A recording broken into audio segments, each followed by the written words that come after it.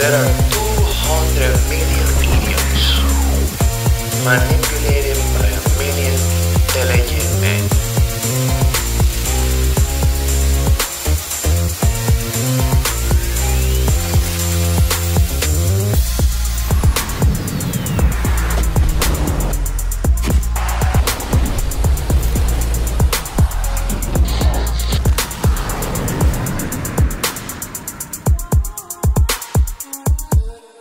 problem is not a matter of money. The problem is a matter of dignity.